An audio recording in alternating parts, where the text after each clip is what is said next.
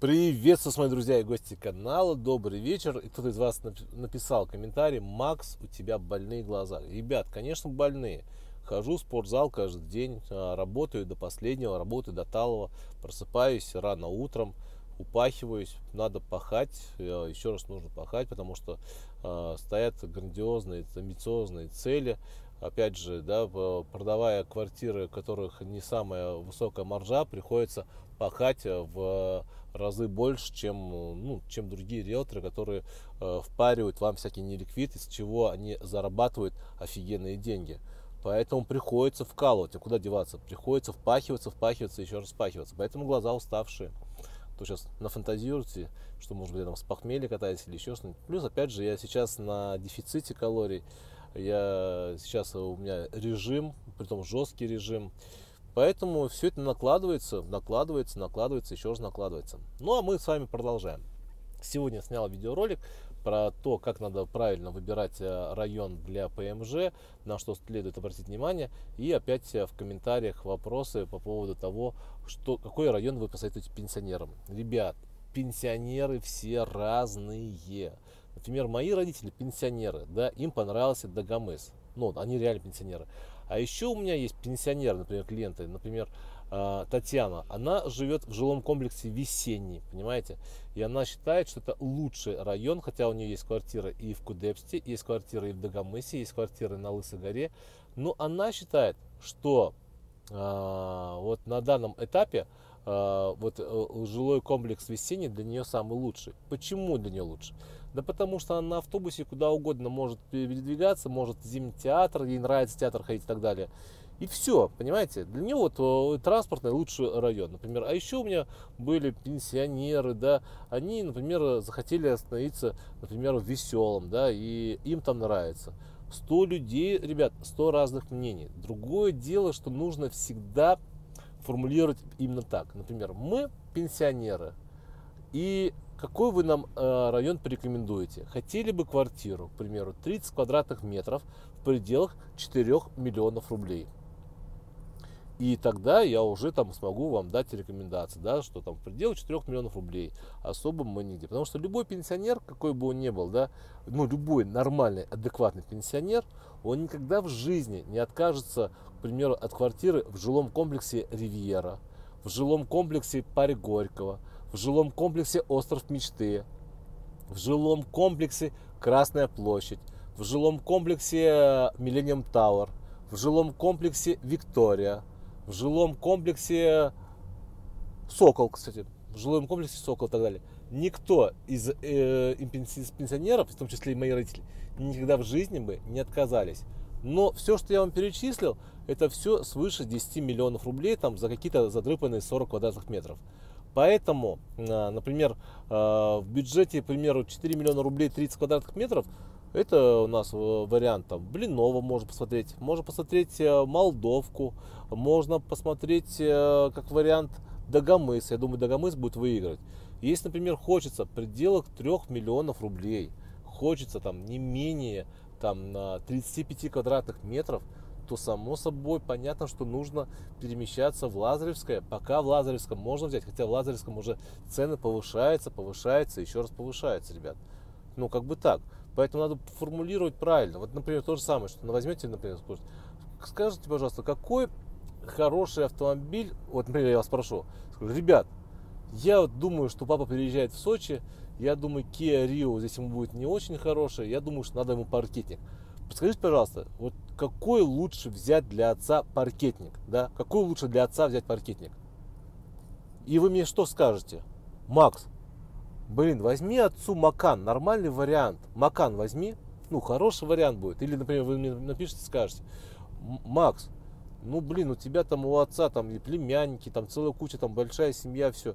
И плюс, опять же, ему нужна экономичная машина. Возьми ему Audi Q7. Блин, хороший вариант, хороший паркетник Audi Q7.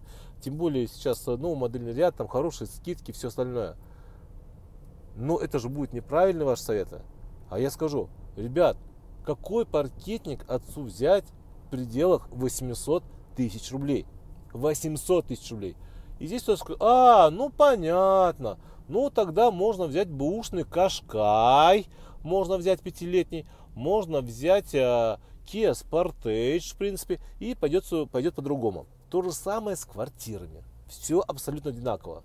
Конечно, в идеале, вот кому всем подойдет, это центр Сочи. Это идеальный вариант. Либо центр Адлера. Но на центр Сочи, на центр Адлера почему-то не у всех пенсионеров есть деньги. Ну, нет почему-то денег. Так же, как у моих родителей. Ну, нет денег их э, купить квартиру в центре Сочи за 15 миллионов рублей. Ну, у них таких денег почему-то нет. Да и у моих клиентов большинства тоже таких денег нет, понимаете? То же самое это касается и там, лучший район там, для покупки дома для родителей. Сколько квадратов дом? В каком бюджете? Если вы родителям покупаете дом за 5 миллионов рублей, ну хотите купить дом за 5 миллионов рублей, то тут у вас вариантов мало. Либо э, Васильевская горка, где-нибудь э, ну, в село Васильевка, либо, соответственно, э, хлебороб, либо мы смотрим с вами Красную Волю. Все. И на этом заканчивается. Все круг в 5 миллионов, чтобы был свой небольшой участок, на этом заканчивается, на этом мы ставим жирную точку.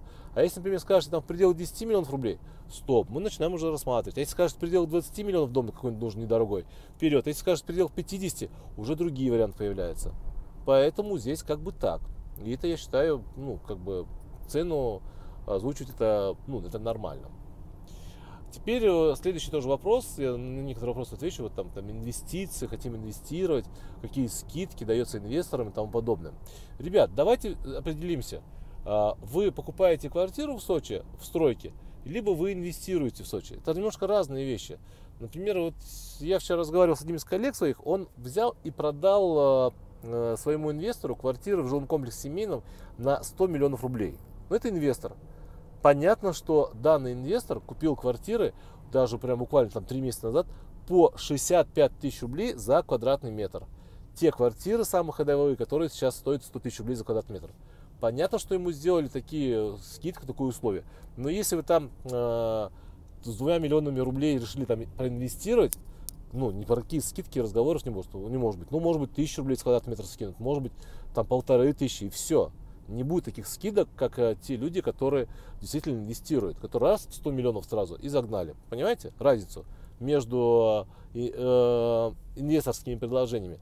Само собой, то же самое Лазаревская сейчас поставит квартиры на продаже, и у инвестора, который вложил 100 миллионов рублей, который смог взять по 65 тысяч рублей за квадрат метр, а некоторые да, по 62 тысячи рублей за квадрат метр, понятно, что у него предложение будет гораздо лучше, чем ваше, да? Потому что вы берете квартиру для инвестиций по 90 тысяч рублей за квадрат метр, а они взяли по 65. И, само собой, разумеется, как бы они будут зарабатывать, потом будут зарабатывать действительно, как мы там обещают, да, даже у них получится, вполне возможно, что получится где-то процентов 70 годовых, ну а у вас там получится на Лазаревском там 20% годовых, не больше. Ну, понимаете, да, как бы к чему я говорю, клоню все.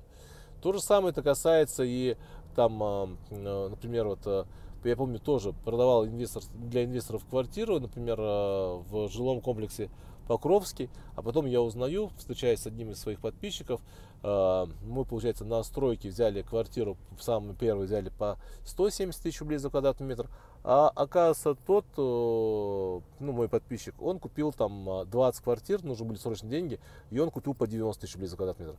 Ну, конечно, перепродать с такими инвесторами будет тяжело. Представляете, разница? Разница почти в два раза получилась на закупе в одно и то же время. В одно и то же время, ребят. Понимаете? Поэтому вот как бы так. Все-таки давайте будем четко разделять, кто такой инвестор, а кто такой человек, который является э, участником долевого строительства. Это разные люди, ребят. Это абсолютно разные. О, блин, парковка есть. Офигеть, что случилось? Ну вот как бы так, ребят. Поэтому, поэтому, поэтому на инвестициях в Сочи зарабатывать можно. Еще раз повторюсь, э, зарабатывать можно э, на тех объектах, которые э, можно там вложить. Опять же, но инвестор это не тот, кто выгодно купил, а тот, кто выгодно продал. И у кого осталась хорошая дельта между покупкой и между продажей. Вот. А продать квартиру в Сочи гораздо тяжелее, чем купить. Все, ребят, вам всем хорошего настроения. Пойду я смонтирую для вас видеоролики И вам всем добра.